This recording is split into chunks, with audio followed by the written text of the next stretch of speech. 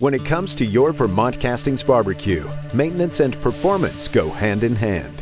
If you don't plan on using your barbecue for a significant period, storage is a smart move, protecting it from the elements.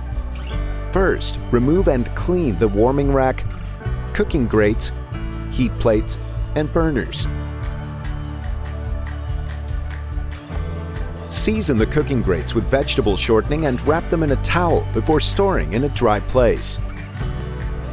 If you're storing for an extended period of time, remove the igniter battery to avoid corrosion. Then, drape the model in an appropriate barbecue cover. Take care of your barbecue, and it'll take care of you, delivering peak performance for years to come.